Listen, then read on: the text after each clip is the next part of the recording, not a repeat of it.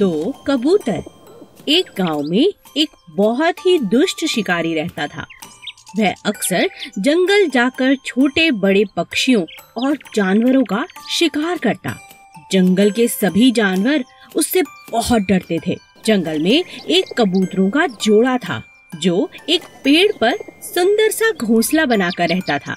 एक दिन शिकारी ने मादा चिड़िया को पकड़ लिया और पिंजरे में कैद कर दिया। शिकारी अब और शिकार करना चाहता था। लेकिन अचानक तेज हवाएँ चलने लगी। अरे यह क्या? मौसम तो बिगड़ रहा है। लगता है और शिकार करना बहुत मुश्किल होगा। मैं पेड़ के नीचे खुद को छिपा लेता हूँ।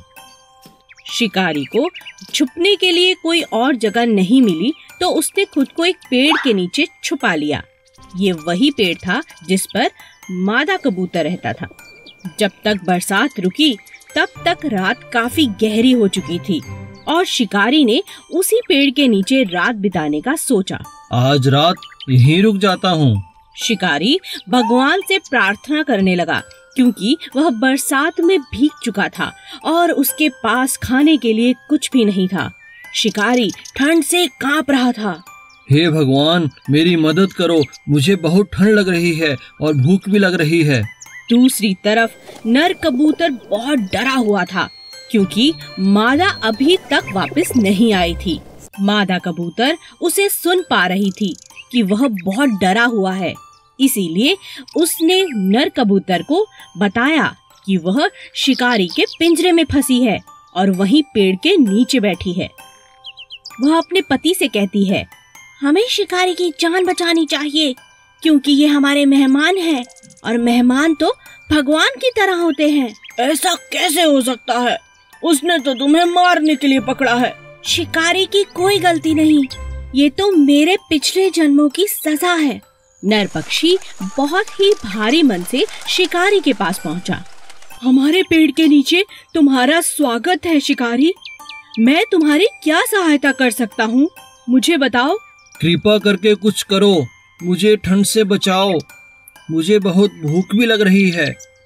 कबूतर शिकारी को कुछ सूखी लकड़ियाँ लाकर देता है, ताकि वह उन्हें जलाए और ठंड से बच सके। मेरे पास खाने के लिए कुछ नहीं है, लेकिन तुम मेरे मेहमान हो, इसीलिए तुम मुझे खा जाओ। इतना कहकर कबूतर ने उसी आग में छलांग लगा दी। कबूतर मर गया और शिकारी ने उसे खाकर अपनी भूख भी मिटा ली। मगर उसे खाने के बाद शिकारी को बहुत पछतावा हुआ। मैं इतना स्वार्थी कैसे हो सकता हूँ? जिसने मेरी जान बचाई, मैंने उसी को खा लिया। शिकारी अपने किए पर बहुत पछताने लगा। इस बात से दुखी होकर शिकारी ने मादा कबूतर को पिंजरे से रिहा कर दिया और आगे से कभी किसी पक्षी को ना पकड़ने की कसम ली। आलसी गधा, एक नमक का व्यापारी गाँव में रहता था। वह नमक की बोरियाँ शहर जाकर बेचता था। उसके पास एक गधा भी था, जो बहुत आलसी था। व्यापारी अपने गधे का बहुत ध्यान रखता था। उसे अच्छा खाना भी देता और बहुत प्यार भी करता। गधा बहुत ही आराम परस था। एक दिन जब व्यापारी नमक की बोरियाँ लेकर शहर जा रहा था, तभी रास्ते में एक नदी आई। व्यापारी अपने गधे के साथ नदी पार करने लगा। तभी अचानक गधे का पैर एक पत्थर से टकराया और वह पानी में गिर पड़ा। बोरियों का सारा नमक भी पानी में गिर गया और खुल गया। अरे, मेरी बोरियाँ इतनी हल्की कैसे हो गई? अरे, ये क्या? सारा नमक बर्बाद हो गया। अब तो शहर जाने का कोई फ़ायदा नहीं। अब गाँव ही वापस चलते हैं। चलो भाई गधे। अरे वाह! आज का दिन तो बहुत अच्छा है। आज तो काम से भी छुट्टी और बोरियों का भी भार कम। अगले दिन जब दोबारा व्यापारी बोरियाँ गधे पर लादकर शहर की तरफ़ चला, तब गधे को काम से बचने का एक उपाय सूझा। क्यों ना आज जान पूछ कर गिर जाऊँ? काम से भी बच जाऊँगा। ऐसा ही कुछ दिन चलता रहा। अब व्यापारी को भी गधे पर शक होने लगा, क्योंकि उसकी बहुत सी बोरियाँ पानी में घुलकर बर्बाद हो चुकी थीं। व्यापारी का बहुत ज़्यादा नुकसान हो चुका था।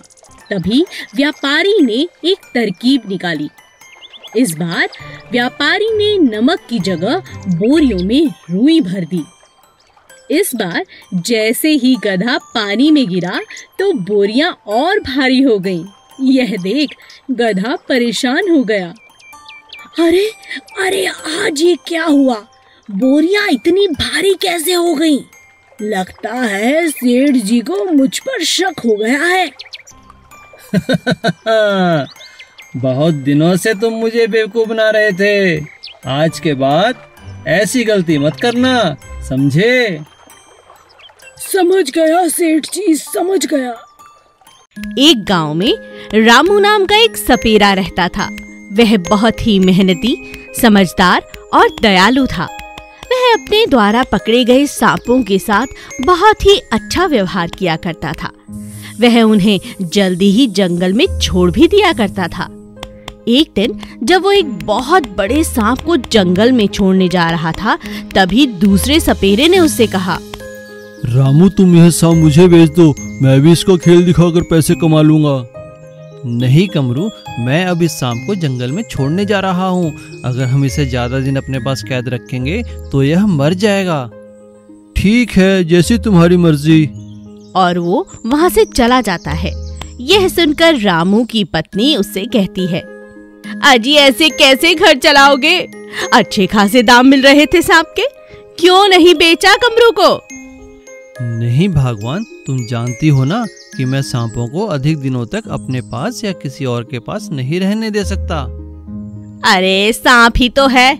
खुले में रहकर किसी को काट लेगा। घर में राशन तो वैसे ही खत्म है। पर तुम्हें क्या? तुम भी क्यों नहीं चले जाते जंगल? वहीं जाकर रहो सांपों के साथ। पत्नी भी रामू को गुस्से में छोड़कर चली जाती है। एक दिन जब रामू कुछ सांपों को जंगल में छोड़कर आ रहा था तभी उसने गाँव में एक घर के बाहर भीड़ को इकट्ठा देखा। वहाँ कुछ लोगों के हाथ में डंडे थे और वो चिल्ला रहे थे। मारो मारो इन सांपों को मारो। यह सुनते ही रामू वहाँ गया। उसने देखा कि एक घर के कोने में दो सांप थे जिन्हें लोग मार रहे थे। वहाँ पहुँचते ही रामू ने कहा अरे भाई इन बेजुबान बेकसूर सांपों को क्यों मार रहे हो? अरे इन्हें मारे नहीं तो क्या खुद मर जाए? अरे मैं तो बाल बाल बची हूँ भैया। मुझे तो काट ही लेते अभी। तुम लोग रुको मैं इन्हें पकड़कर जंगल में छोड़ देता हूँ। रामू के ऐसा कहते ही सभी लोग वहाँ से हट गए और रामू ने उन सांपों को पकड़कर जंगल में छोड़ दिया। सांपों को छोड़कर रामू जैसे ही अपने घर आता है अचानक देखता है कि दोनों नाग और नागिन उसके घर पर बैठे हुए हैं। उन्हें वहाँ देखकर वह चौक जाता है और सोचने लगता है कि ये कैसे हो सकता है कि वो तो अभी जंगल उन्हें छोड़कर आया था। तभी नागिन कहती है, हम दोनों इच्छाधारी नाग नागिन हैं। तुमने हमारी जान बचाकर बहुत बड़ा एहसान किया है हम पर। हम तुम्हारा धन्यवाद करते हैं। उन्होंने रामू को सोने के अंडे दिए और कहा, रामू, ये अंडे कभी खत्म नहीं होंगे। अब तुम्हारा घर हमेशा पैसों से हरा भरा रहेगा। यही हमारा आशीर्वाद है। और ऐसा कहते ही इच्छाधारी नाग और नागिन वहाँ से गायब हो गए। अगले ही दिन रामू की पत्नी भी वापस आ गई और रामू से माफ़ी मांगने लगी। तुम ठीक ही कहते हो जी। हमें इन बेजुबान सांपों पर दया करनी चाहिए। अब रामू, सांपों के सोने के अंडे बेचकर हमेशा खुशहाल रहने लगा। आलसी राजा शेर, एक दिन जंगल में ज़ोर ज़ोर से पेड़ काटने की आवाज़ हुई। खरगोश ने देखा कि एक आदमी पेड़ों को काट रहा है। खरगोश ने जाकर यह बात शेर राजा को बताई।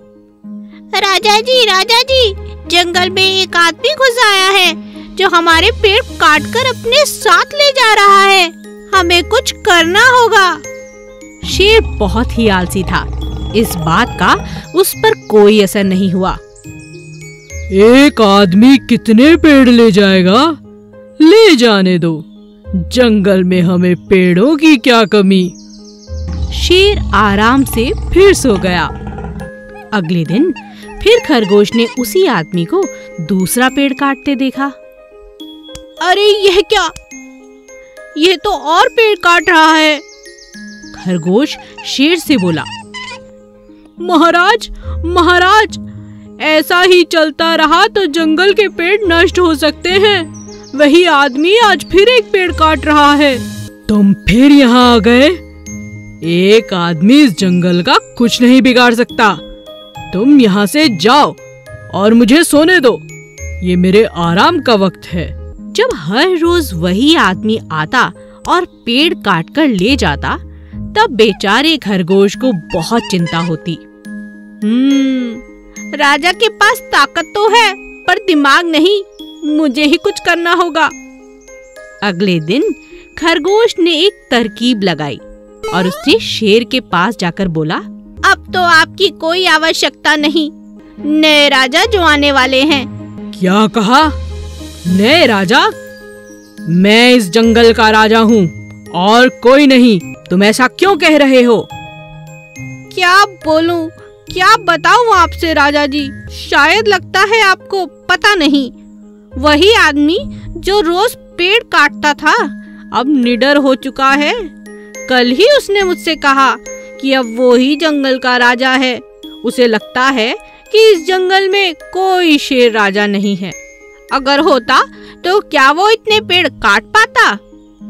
हम्म, उसकी ये हिम्मत।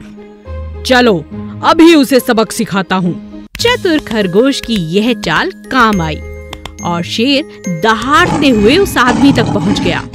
बेचारा आदमी पेड़ काटना छोड़ दुम दबाकर भाग गया और कभी जंगल में वापस नहीं आया। खरगोश ने अपनी चतुराई से जंगल के सभी पेड़ों को बचा लिया।